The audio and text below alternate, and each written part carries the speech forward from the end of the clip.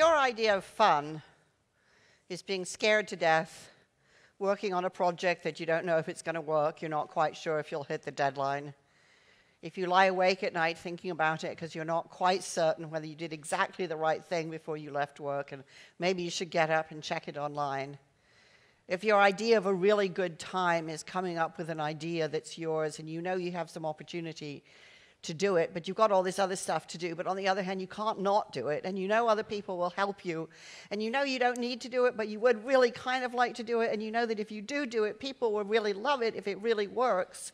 Then I really do advise you to come and work here. But if you want guarantees, yes, of course we'll have an IPO and we'll all be millionaires. Or if you want guarantees, you know, there's a smooth career path, and if you jump through this hoop, you'll be promoted. And if you get jump through that ho hoop, you'll get a bonus. If that's the sort of place that you want, that you want, then please go away. That's what my husband called my Green Beret speech. And I used to use it when I was interviewing job candidates when I was running tech companies in the US. And it was almost invariably in response to a question from someone sitting across the table at me who would say, So, what guarantee can you give me that you'll be in business five years from now? And the answer was absolutely none. Nobody can. I don't know if BP is going to be in business five years from now.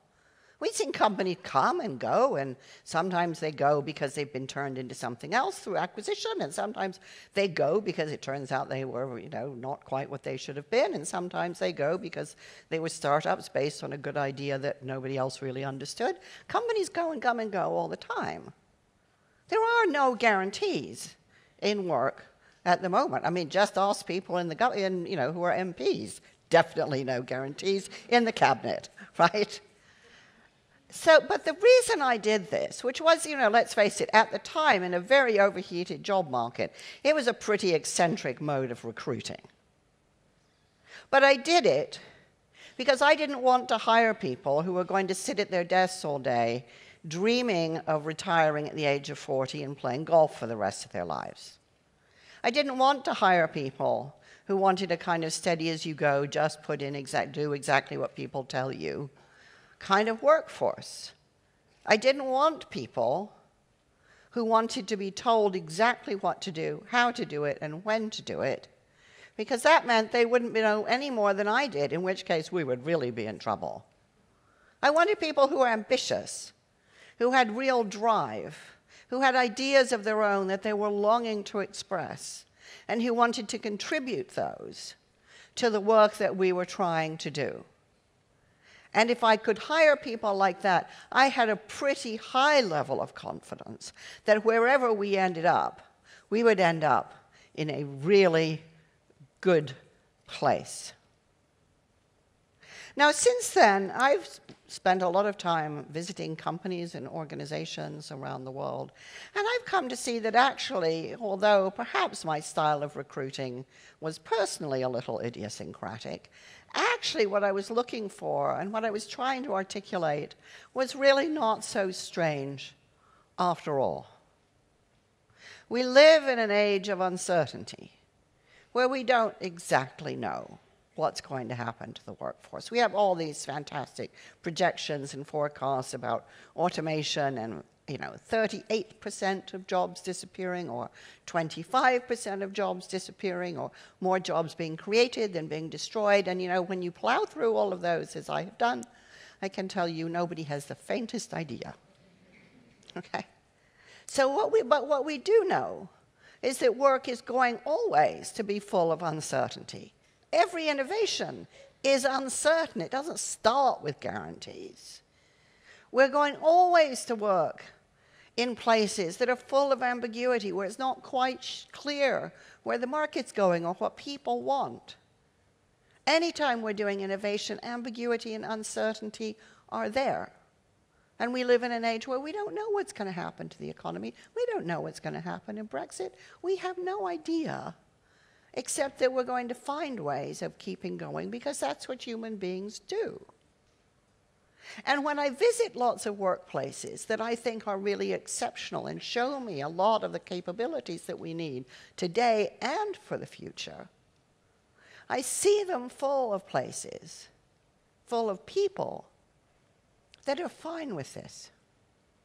So, one of the places I visited, I guess about a year ago, was CERN, where the Large Hadron Collider is, where they finally, finally found the Higgs boson. Now, science is a very, very competitive field. There are, there's a huge oversupply of PhDs, and science is typically quite poorly paid. And yet, people beg to go and work at CERN. Why? Well, one reason is because they know that the work being done there is exceptionally challenging and difficult. They know that if they get the opportunity to work there, they're going to try to prove things that may or may not be true. Nobody knew if the Higgs boson existed. It was a great theory. Was it true? I met a whole bunch of scientists who've been spending their lifetime working on a theory called supersymmetry. It's a nice theory, they tell me. I don't even begin to understand it, right? It's a nice theory. It should be true. But so far, for all their experiments, they can neither prove that it's true or that it's false. But it's exciting to look and to find ingenious ways to try to find out. Another project at CERN is called DUNE. It's a search for a particular kind of neutrino. And this particular kind of neutrino might exist or it might not. They don't know. And they're building what will become, after the Large Hadron Collider, the biggest piece of machinery in the world. I can't tell you how proud people are to be involved in this project. Some of the scientists I was talking to about it, by the time the experiments actually take place using it, they'll be retired. They don't care. They're part of something great. Every single person I talked to who works on this project told me, well, you know, we're using liquid argon in this, and that was the idea of Carlo Rubbia. Carlo Rubbia won the Nobel Prize for Physics because he discovered the W and the Z boson. I've never heard people talk with such pride because they know that they stand on the shoulders of giants. They know that they might not find anything. They know they might find something. They know that the work is ambiguous because nobody in the world has the faintest idea how to do this work, but they get a chance to try. And that's enough for them. The work has meaning. It's part of something that has meaning in the world. Now, I have found exactly the same characteristics at what you might consider to be the opposite end of the scale, which is in the NHS.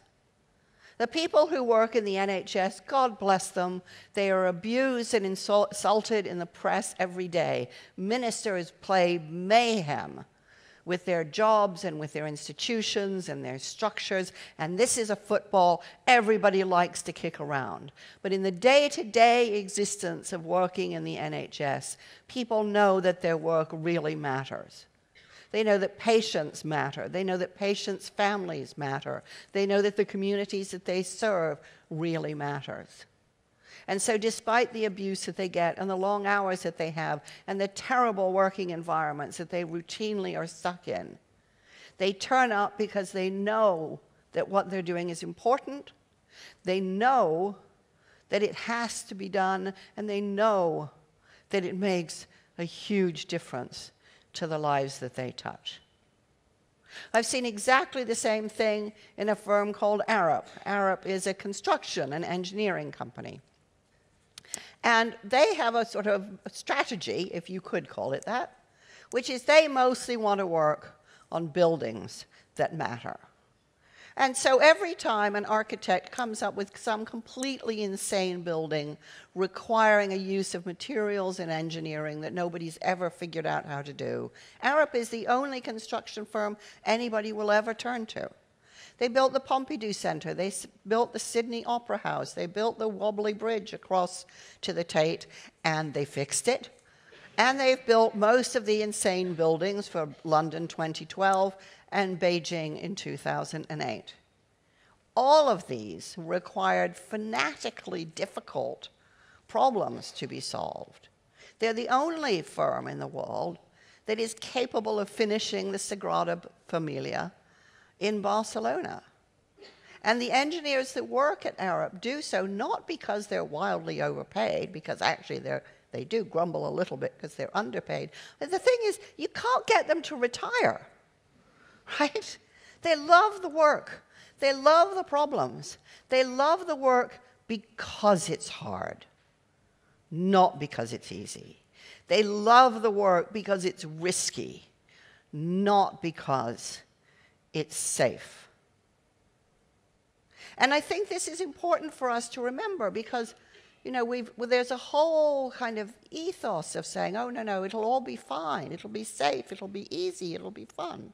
I can remember hearing managers saying this to their teams and thinking, why? Why say this when you know the work's going to be hard? If you say a huge project is going to be easy and fun, and then it turns out quite predictably to be bloody difficult and excruciatingly stressful, everybody thinks they must have screwed up. Whereas if you say at the very beginning, this is going to be one of the toughest things you've ever done, it's going to stretch you and challenge you to beyond what you think you're capable of doing. Then when it is hard, those people will think, ah, this is exactly what they told us it would be. No need to panic. If we're terrified and scared to death, we are right on schedule, right? And then when they finish it, they can have a real sense of achievement. Now, some of this has become what we've started to think about as purpose. Purpose is the buzzword these days. I'm not quite sure how purpose differs from mission and values and all that jazz that we've all lived through. But what I do know is that it really has to mean something. I saw one of the purpose statements I looked up recently is helping Britain prosper. I have no idea what that means. I don't know if these people make pharmaceuticals or um, illicit drugs or make music or dentistry. I haven't the faintest idea how Britain is prospering due to this company. Do they make money or sell money or give money away? Or do they make vegan sausage rolls? I have no idea. Right? So the danger of all this kind of purpose mumbo jumbo is it's kind of like putting a huge layer of icing on top, top of a dry old cake to try to give the impression that it's really moist. If the work itself doesn't have meaning, slathering a purpose statement on top of it won't really do the job.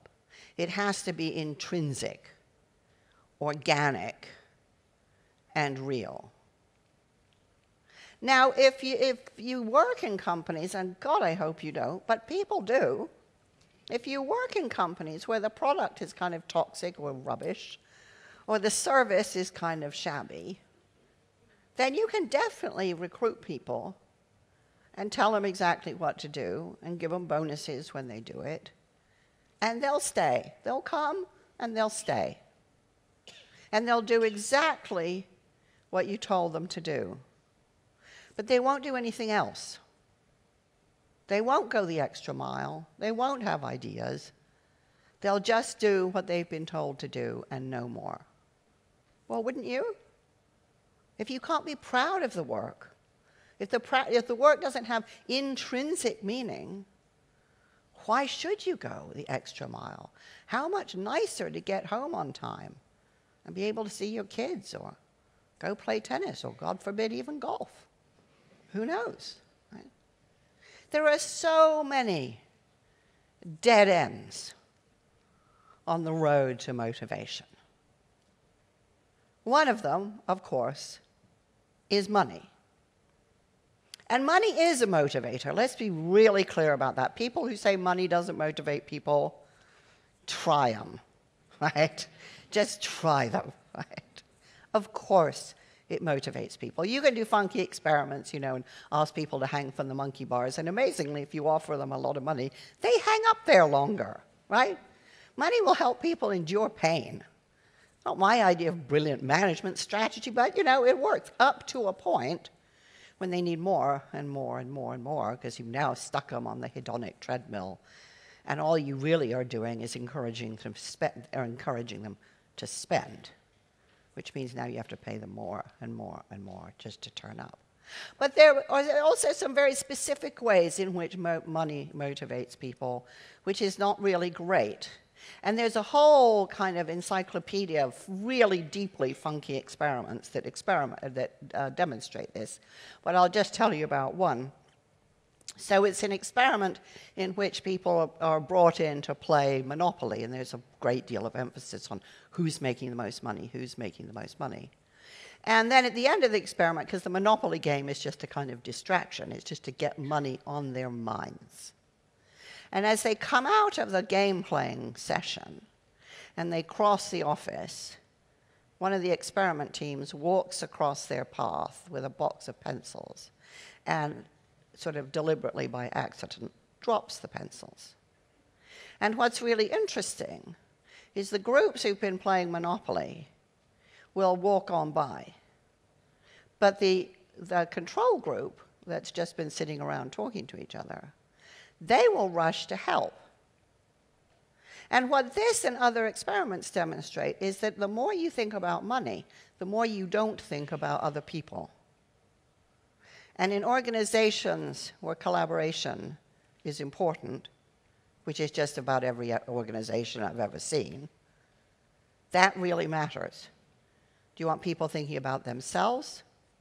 Or do you want people thinking about each other and being helpful? Another dead end to motivation has been competition.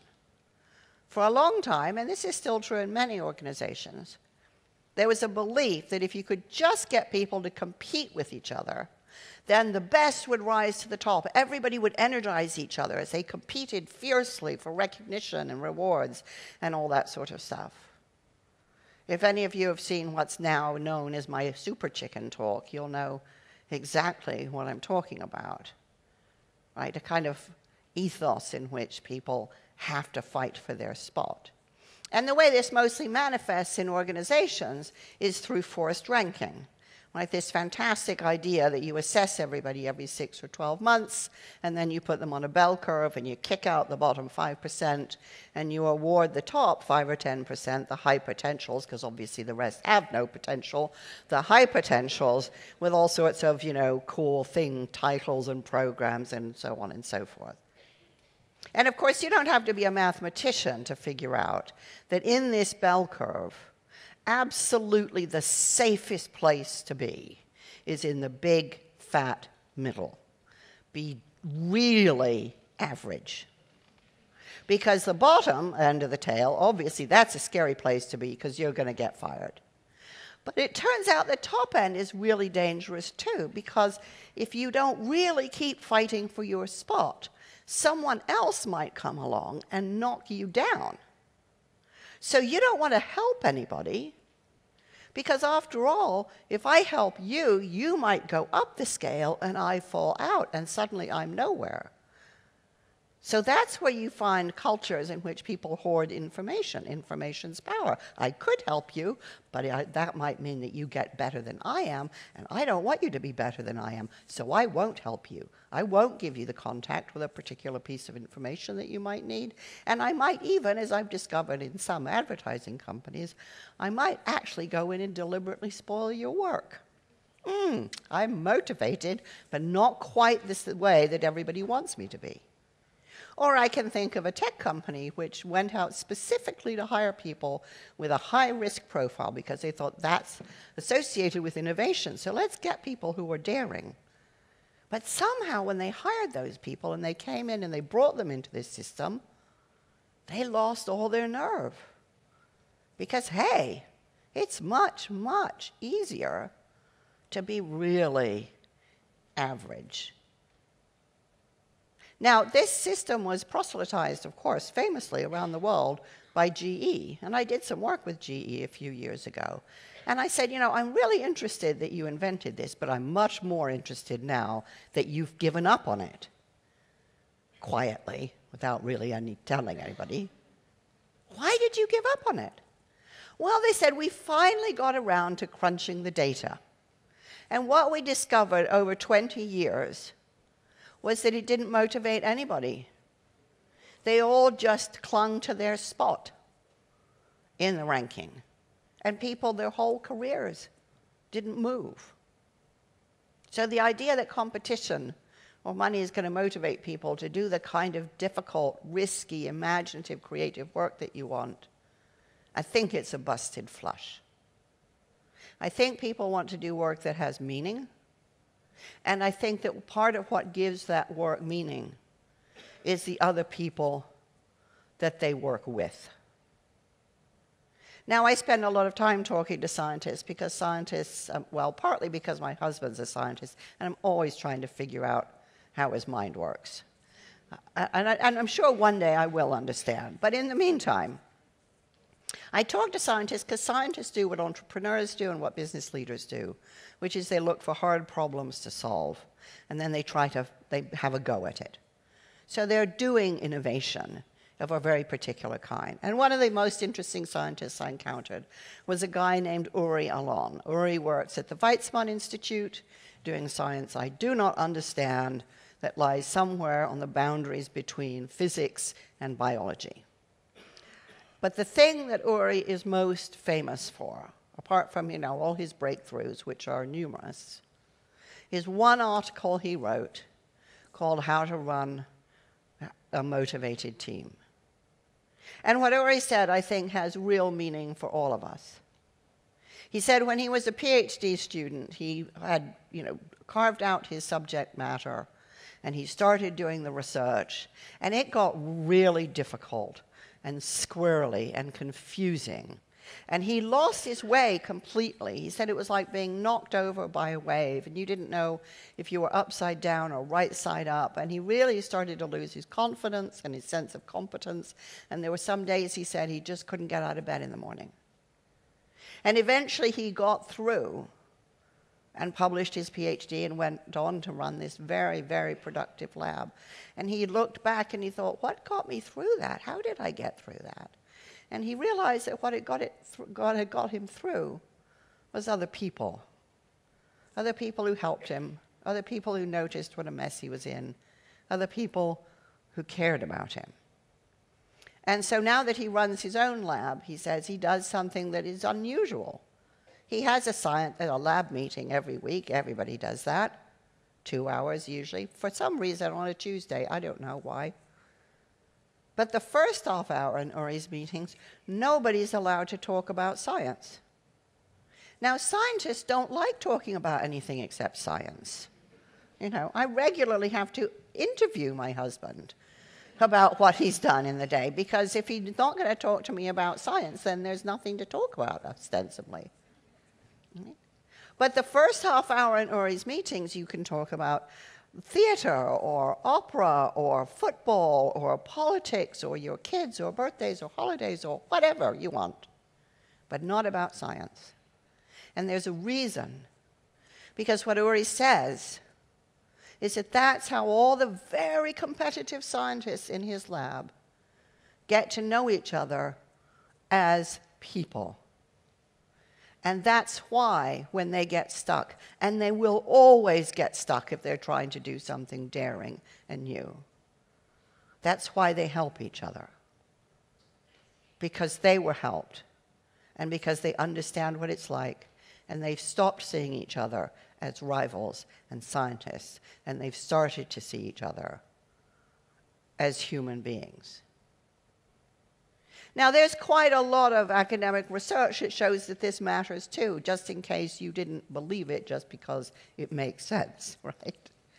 And now the academic research says is really interesting. It's research into collective intelligence, right? The whole premise of organizational life is that we come together in organizations because groups of people can solve harder problems better than individuals working alone. But I'm sure every single one of you here today has had the experience of working in a team where exactly the opposite of that seemed to happen. When nobody could really get along, nobody really shared information, where there was a lot of bickering and a lot of friction and not a lot of production. So Tom Malone at the Center for Collective Intelligence wanted to understand what's the difference between the really motivated, productive teams and the, than the teams that just go nowhere. So he brought in hundreds of people and he measured their IQ and he gave them hard problems to solve and he found, which was no surprise to anybody, there's a rough correlation between IQ and problem solving. But then he put them into teams and gave them high order design problems to solve. And then he examined why some teams were great and some were completely useless. The first thing that was really interesting about the research is what didn't happen. The high achieving teams were not the teams with the highest aggregate IQ. So the idea that what we want to do in organizations is hire all the brightest, high achieving A star, double first people in the world and put them together, not justified. Secondly, the great teams were not the teams where they had one or two IQ superstars. The idea being that they'd kind of lift up the rest. Also not proven. The great teams, so they had more ways of solving the problems faster, had just three things in common.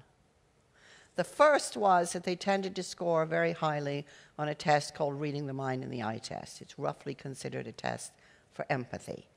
It means how connected are people to each other. One reason I never use slides is I want to look at people's faces. I want to see are they nodding off? Are they really interested? If they're interested, should I linger on this point a little bit longer? I want them to feel that I'm talking to them. And I can only know that if they're looking at me and not looking at the slides. So empathy is a big deal in communication and in collaboration. The second thing they found is when they rewound and replayed the um, solution discussions, they found that in the high achieving teams, everybody contributed roughly equally. So this wasn't that everybody gets five minutes, it wasn't a formal thing. It just turned out that way. So what they were doing is they were getting a full contribution from every single participant in the room. And the third thing they found, which they were definitely not looking for, but they couldn't escape noticing, was that the high achieving teams had more women in them. now, nobody really knows what this means. Is it an element of diversity? Women score more highly on reading the mind in the eye test. Maybe you're doubling down on empathy. But actually, the heart of the matter here is that what really makes the difference in these high achieving teams is what's happening between people. Now, I think that's really interesting. It suggests that actually what matters isn't the, isn't the bricks, but the mortar. And in recruitment, we mostly have focused on bricks. And of course, now we're starting to think increasingly about mortar, about culture, about how people relate to each other. And again, you know, I like to take this academic research and start going out in the real world and saying, well, does it hold up? And it's really interesting. I mean, it clearly is exactly what Uri Alon happened across through a completely different route. I can also look at organizations like Arup where they say actually their ability to do these impossible things is really down to one thing, which is they have a culture of helpfulness. What does that mean? I said, I don't get it. It sounds a bit boy girl scout to me, frankly. And they said, well, the thing is, if you're helpful, information flows really, really fast. People don't get stuck. Give me an example, I said. Well, they were building the uh, Equestrian Center in Beijing for 2008. And an engineer was given a very tricky problem, which was how much waste did this building have to cater for? They had 1,200 thoroughbred horses coming from all over the world, some by plane, some by boat, all of them jet lagged and probably pretty pissed off with the travel catering, right? And so they'd come to the equestrian center, and then what would happen to their bodies? Now, this isn't the kind of thing they teach you in engineering school, and it isn't the sort of thing that you want to get wrong, right? You over engineer the problem, it's too expensive. You under engineer the problem, well, you can imagine, right? So he's sitting there thinking, okay, I could build a spreadsheet model, you know, what they've eaten, uh, the time that it takes horses to digest food, uh, what comes out the other end, uh, how long it takes, all this sort of thing. But even doing that with really rigorous questioning of trainers and vets and all this jazz, he'd still not know if his answer was right. So this is a very uncomfortable place to be. So he's sitting there looking a little anxious, and one of his colleagues comes along and says, What's the problem? You look worried. And he explains the problem. He says, Don't worry, I can help you. And in less than 24 hours, he can give the engineer the formula to figure this out because he has a friend who once built the Jockey Club in New York and solved it in real life. That, he said, is the power of helpfulness. It means people don't hoard information, they share information. That means everybody gets much smarter. Getting much smarter, learning stuff is fantastically motivating, but it's also incredibly effective for getting really difficult things done with high levels of confidence that the building won't fall over and neither will it be mired in piles of whatever. Right? Helpfulness is one of the most decisive distinguishing characteristics of highly productive workplaces. It sounds super anemic, but it's incredibly powerful. I work with one CEO who every year runs a thing that she calls a love week. It sounds maybe a little funky, but what they do once a year is they have a whole week where people get a sort of secret observer who has to notice all the smart, clever, helpful, useful, creative things they do and find secret ways of communicating to them how important and helpful it has been. Everybody loves it. They plan for months ahead cool ways of doing it. But this is a tech company, so they measure everything that moves. And what the CEO told me is this is the one thing where you can see an immediate increase in productivity. In my own companies, you know, all those Green Berets who amazingly did come and work for me, right? We did two things. The first was after I'd hired them, I realized, well, these were really, really deeply motivated people. But they would come in every day and work like crazy and eat in front of their computers and then eventually be sent home, which kind of looks good, but for my money, it was too quiet. It was just too quiet. There was a lot of work going on, but nobody was really working together. So, desperate, I said, well, okay, let's on Friday afternoons, down tools at 4:30, and every week three people are going to stand up and tell us who they are and why they're here. Because I knew all these people had fantastic backstories and amazing adventures, but lots of other people who hadn't interviewed them didn't know. So we did this, you know, every Friday, and I cannot describe to you how excruciating it was. Right? Of course, I had to do it because you can't ask people to embarrass themselves in front of all of their colleagues without doing it yourself. But it was kind of equal opportunity excruciation, right?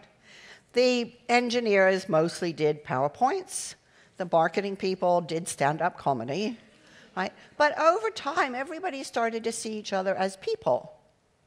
And then you started to see people actually having lunch together in the lunchroom or going out together to go to the pub or to the, you know, to the movies or something. They started to see each other as people. And when eventually we came at one point to have to reposition the entire business in 90 days, We got it done because people were kind of psyched by the idea of doing something impossible with people whom they now really respected and trusted, and who they kind of wanted to prove how good they were to each other. They drove each other kind of higher and higher levels of excellence. Just yesterday, I was interviewing a young man whose career I've been watching sort of from afar. He started his career as a um, sales engineer, which sounds pretty lowly because it was pretty lowly. And he's now one of the highest performers in the company after three years. And I said, What is it, you know, about this company that has allowed all that to happen? And he said, Well, you know, I know what needs to be done, and I'm really good at figuring out how to do things. So we're working with a lot of technology I wasn't very familiar with, but I'm good at learning stuff. And then I kept noticing that there was a lot of things in our processes that were kind of tortuous and repetitive. So I figured out how to automate all of those things.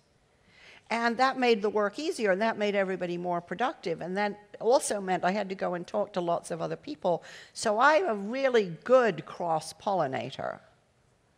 So this is a guy who actually has found in his organization a great deal of autonomy in terms of how, what he, how he works, what he works on, where he works on it. It's very striking to me, a Steelcase piece of data I read the other day. 51% of people say they would change their jobs for more flexibility.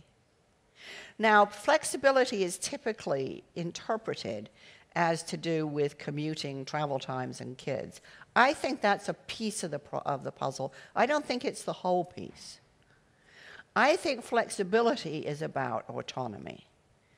How, when I work, how I get the work done, having freedom to choose some of those things. And the reason that matters so much is that when I choose where I do it and when I do it, and who kind of have a sense of who I'm doing it with and for, then the work's mine. It's not just a task I've been given, it's mine.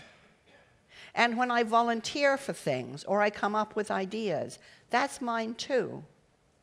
And when I care about the people around me, I care about giving them products or devices or applications that really work and save them work, or that allow them to respect me, that make them proud to work there, and that allow them to do the best work that they can do while I do the best work that I can do. Learning and freedom are a huge, huge source of motivation, and they never wear out. The other huge source of motivation, in my experience, is justice. Now, this isn't about everybody being paid the same. Of course, everybody understands people get paid different rates for different jobs, different skills, and so on and so on. But justice means that everybody matters. I want to do work that's meaningful. I want to do work that matters. I want to do it with people that matter. And I want to feel that I work in a place where everyone matters, not just some people, not just the people on the top floor, not just the people who are executives or have particular titles. I want to be in a place where I feel everyone matters because actually to do my job requires that everybody else do their job. And if they feel they don't matter, they're not going to do their job as well as I would like to do mine. Now, one of the most beautiful examples I ever saw of this was when I interviewed Maureen Beals, who runs National Van Lines. It's a gigantic company in the United States, and they run trucks everywhere, moving people's houses and offices and all sorts of stuff, even, I think, kind of NASA uh, rockets and so on. So this is a huge, huge company in a very disaggregated industry. And she told me a story one day about a driver that she had in Texas. And the driver had fallen off a ladder when he was doing some repairs to his house. And she had heard about this and she thought about it.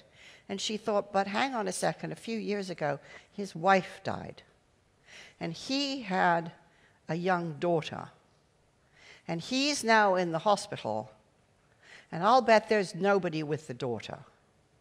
So, what we need to do here is we need to get in touch with his older daughter and give her a plane ticket to get to the house to look after the younger daughter.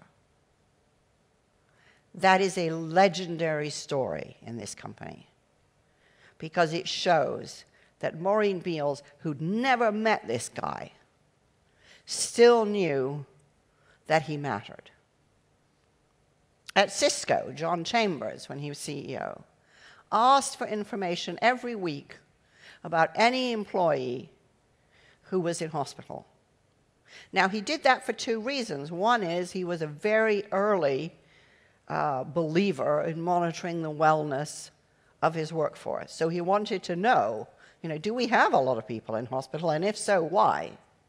But the other thing is he would look at the list and he would write handwritten notes to every single one of them.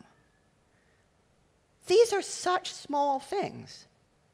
They're incredibly small things. They take almost no effort or time, but they are hugely articulate of the idea that everyone matters. And when you go to companies like this, everybody will tell you about them. This is in stark contrast to one consulting business I worked with recently. I had a very strange gig as a consultant to a consulting company. And they had done all the things that they should have done. You know, they got their product line in order, they got rid of all the dead wood, all that sort of thing. And now they were sitting down and saying, you know, the real thing we have to focus on now is our people. How do we get more out of our people? And they went on to say, you know, the great thing is that our engagement scores are up. Great, I said. From what to what? From 59 to 61%. Okay? Hmm. It's not great. well, no, but it's the right trend, they said. Yeah, yeah, I can see it's the right trend. The thing is, it may just be it went up because all the people who hated working here were fired, right? So that may not be a sustainable trend that you've got there. There was this long silence, and they said, Well, what do you think we should do? What do you think? How do we, how do we find out if this is meaningful or not? And I let this silence hang in the room for as long as I possibly could, thinking somebody's going to get the answer here.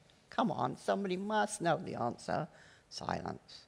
And so finally I said, I think you have to talk to people.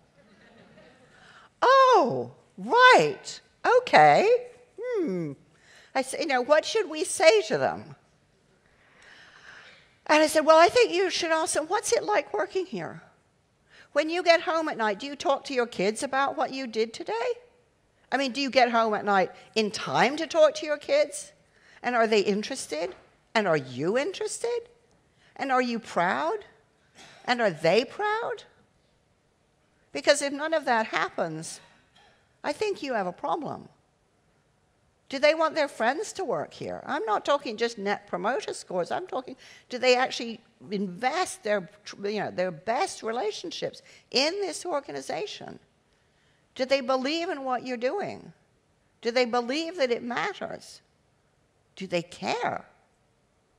That's what the word engagement means. I mean, I know it's a buzzword now, but once upon a time, it meant did they really connect like gears engage and therefore push things forward?